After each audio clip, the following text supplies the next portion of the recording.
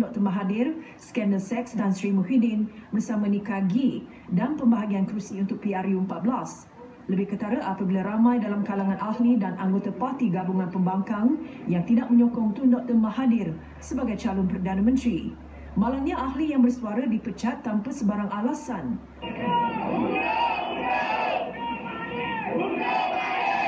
Kemuncaknya 22 Februari lalu, kira-kira seribu ahli akar umbi PPBM mengadakan perhimpunan aman di hadapan Ibu Pejabat ROS mendesak tindakan segera dikenakan terhadap parti itu. Meskipun masuk tahun kedua penubuhannya, sehingga kini PPBM yang dipengerusikan Tun Dr. Mahathir dan Tan Sri Muhyiddin selaku Presiden masih gagal menjawab persoalan yang dilemparkan ahli akar umbinya sehingga memaksa ramai meninggalkan parti itu.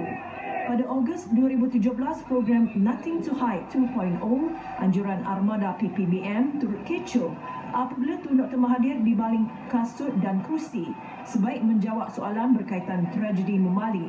Malah masalah pendaftaran PPBM ini juga dilihat punca pendaftaran Pakatan Harapan sebagai sebuah gabungan yang dianggotai PPBM bersama DAP, PKR serta Amanah tidak dapat diproses oleh RUS. Bagi bekas ahli dan pemimpin parti itu, kata-kata ini diungkapkan. Sudah jangka akan dibubar. Menurut bekas naib Presiden PPBM Datuk Hamidah Osman, keputusan yang dikeluarkan ROS telah dapat dihidu.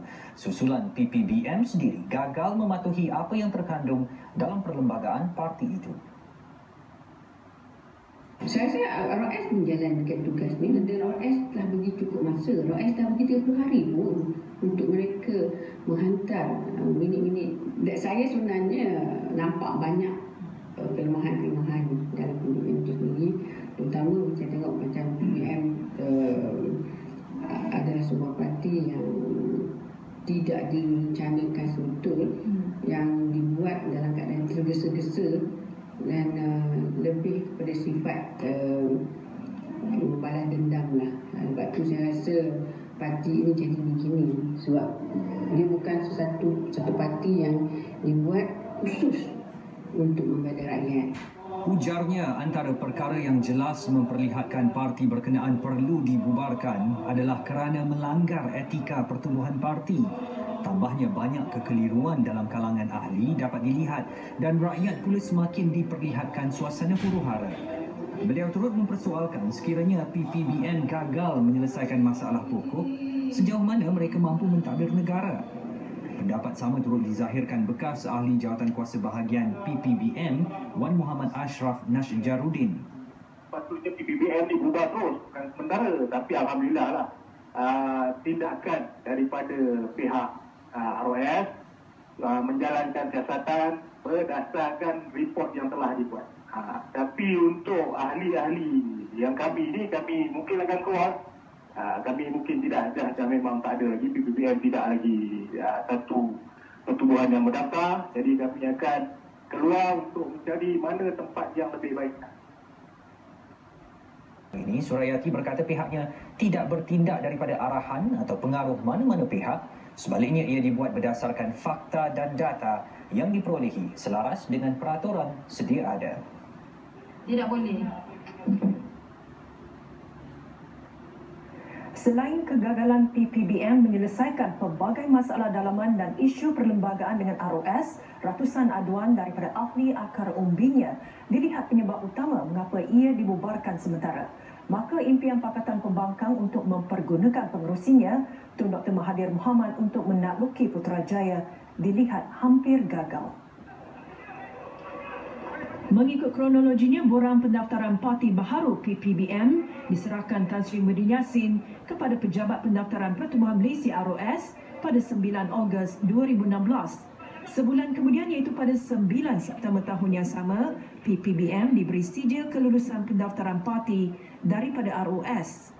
30 Disember 2017, PPBM menjalankan mesyuarat agung tahunan di Shah Alam Selangor Bagaimanapun ia mendapat bantahan daripada ahli-ahlinya yang mempersoalkan bagaimana EGM itu boleh diadakan sedangkan masih terdapat cawangan dan bahagian yang belum mengadakan mesyuarat.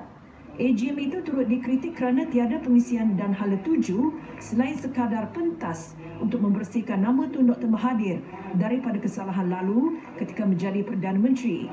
Sejak itu, RUS menerima ratusan aduan daripada ahli PPBM di seluruh negara berkaitan dakwaan pelanggaran perlembagaan. Pastinya sebagai Presiden Parti saya akan bertanding. Pilihan pertama saya mungkin Pago. Tetapi apapun kalau Majlis Pimpinan Tertinggi memberi pandangan yang lain, saya akan patuh dengan keputusan.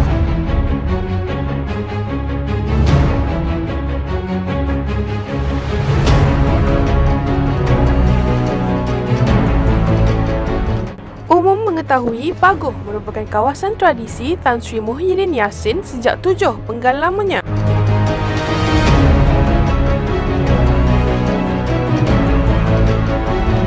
Namun perpindahannya ke Parti Bersatu telah sedikit sebanyak menyebabkan perpecahan dalam kalangan penyokong di kawasan ini.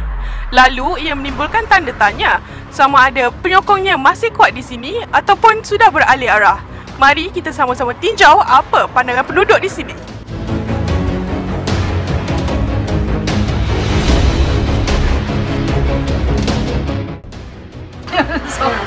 Sokong Muhyiddin, memang sokong Muhyiddin. Dia tetap sokong Mahyudin, Tan Sri Mahyudin. Sokongan kepada Tan Sri Muhyiddin di Pagu Alhamdulillah.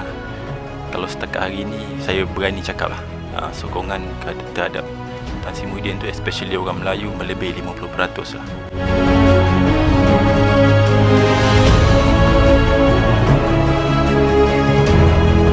Tengok kan macam projek-projek macam you dulu kan, dia punya juga kan. Tengok dah okey dah apa kan. Sebab jalan-jalan pun dulu kan jalan kecil-kecil. Ha, dah besar dah. Bagus dia. Pasal kita orang tempatan Muhyiddin di sini, duduk Omwa, kita sokong dia lah. Kalau dapat BNB lah dia yang naik atas duduk atas. Sebab dia pun orang tempatan kita. Lama dia apa mengecipung di apa ni arena politik dan dia pun di sini di kawasan Pago ni dah melebihi 20 tahun mewakili apa ni rakyat dalam parlimen. Apa janji-janji dia semua di kota ni. Cakap-cakap dulu semua dah terbukti lah. Uh, secara peribadinya, uh, Tan Sri Muhyiddin adalah pemimpin yang bersih lah daripada salah guna kuasa, daripada isu-isu yang besar. Dan selama ni tomahan yang ditohmah kepada Tan Sri Muhyiddin tidak dapat dibuktikan dengan fakta lah.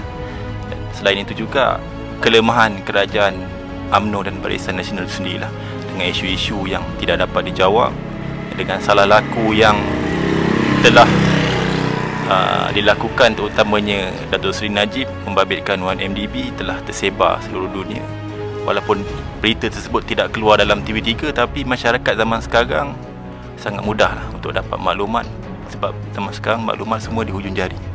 Jadi apa juga spin yang berlaku dalam TV3 uh, rakyat boleh menilai lah mana yang betul dan mana yang tidak betul lah.